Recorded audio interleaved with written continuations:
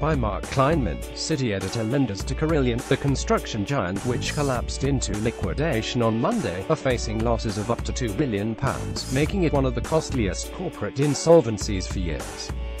Sky News has learned that a complex series of financing arrangements for subsidiaries of Carillion mean that the total exposure of its banking syndicate is far higher than the £900 million headline debt figure carried by the listed construction group.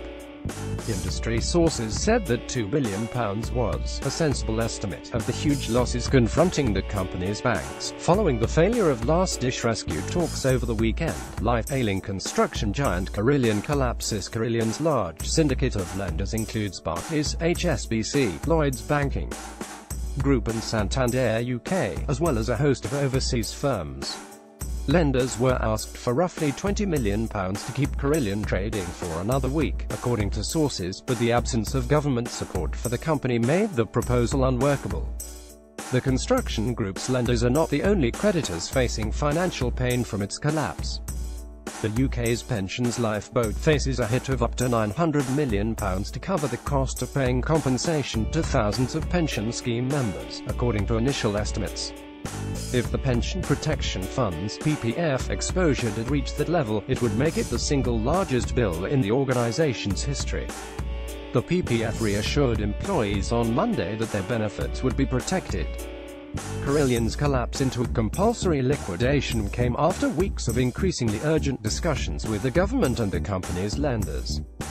David Lidington, the Cabinet Office Minister, said it was regrettable that Carillion had not secured a private rescue deal but added that taxpayers cannot be expected to bail out a private company. The construction group which counted the HS2 high-speed rail link and hundreds of schools, hospitals and prisons among the public sector work it was contracted for, had seen mounting losses in recent months after mispricing a series of projects.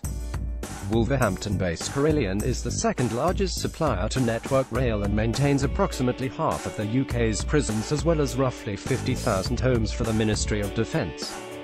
More than 19,000 UK-based employees of Carillion now face an uncertain future, although the government insisted that they would continue to be paid through the official receiver. Government sources had said that emergency talks on Sunday concluded with John Manzoni, the permanent secretary of the Cabinet Office, announcing that Carillion would not receive any special support from taxpayers. The company's bosses had hoped that ministers might agree to a proposal made over the weekend to guarantee payments on public sector contracts, which would enable it to borrow more money. Carillion needed £300 million of short-term funding from the end of this month, and its banks had previously indicated that they were reluctant to provide it without significant support from the government. As recently as Friday night, Carillion insisted it was holding constructive discussions with a range of financial and other stakeholders regarding options to reduce debt and strengthen the group's balance sheet. Philip Green, the company's chairman, said the collapse meant it was a very sad day for Carillion, as an agent of the Insolvency Service. The official receiver is responsible for examining the causes of corporate failure, a role that will include investigating directors' conduct and the business, dealings and affairs of the company, according to a government statement. Carillion had issued a string of profit warnings during the last six months, sending it scrambling to raise more cash after unveiling a thumping £1.1 billion loss for the half year. Earlier this month, the company was dealt a fresh blow when the city watchdog launched a probe into the timeliness and content of statements it made to the stock market about its financial position between December 2016 and July last year, when a massive profit warning sent its shares crashing by 75%. Since then, the company has cleared out its executive team, including Chief Executive Richard Howson and Finance Director Zafar Khan.